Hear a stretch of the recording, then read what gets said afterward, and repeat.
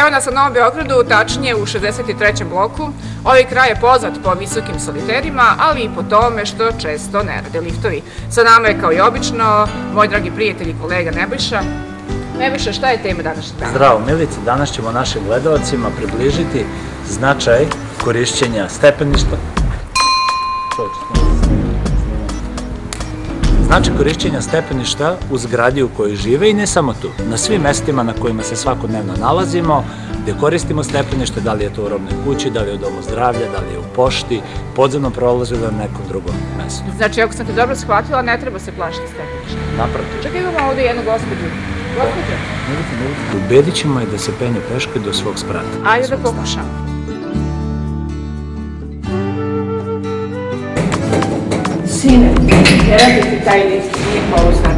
Ja bi ti preporučila da se ne vozi sa njim. Bolje idemo s tebom. Čekaj bre, baba, pusti koji se penje na drugi sprat.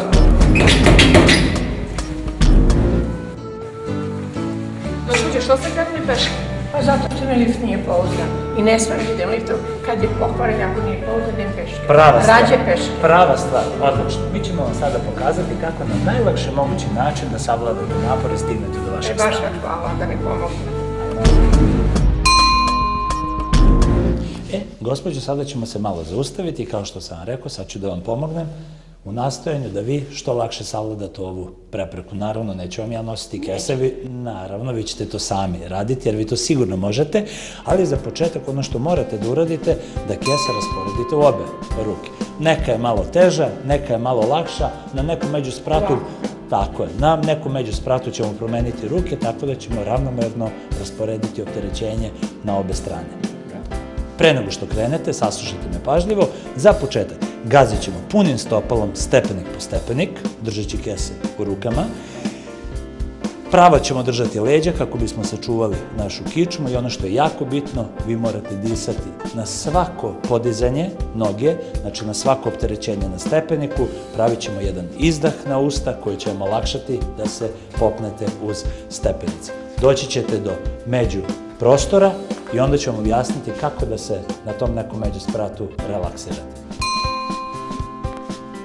Tako je, disanje, disanje polako, sporije, malo, leđa pravo, tako, idemo izdah, idemo gore, izdah i još jedan stepenik, idemo gore, izdah, tako je.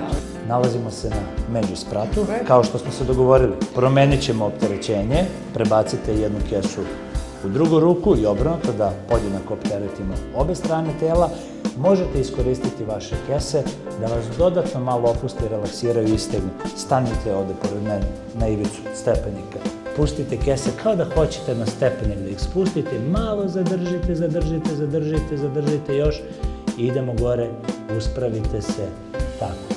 Ponovit ćemo to dva, tri puta, znači lagano se spustimo, osetite malo istezanje leđa, nogu, pa se uspravite gore lagano, ajmo još jednom, znači spustimo se lagano, kesa će vas dodatno opteretiti, povući dole, istegnuti i vraćamo se gore. Sve to uz jedno normalno disanje, kada se malo uspostavilo, možemo da krenemo na sledeći sprat.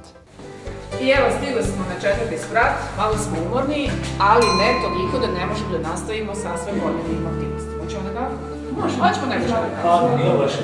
Ajde, izvolite. šta je iskustvo?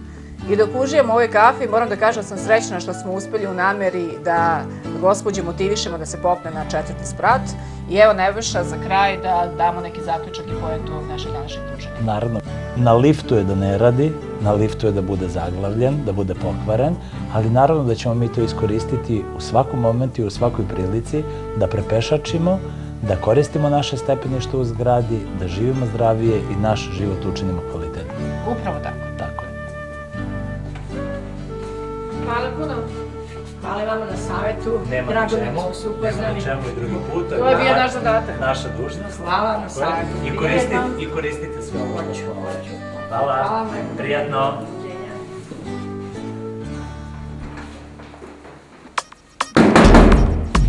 Alo, baba! Bako! Bakice! Zove majstora!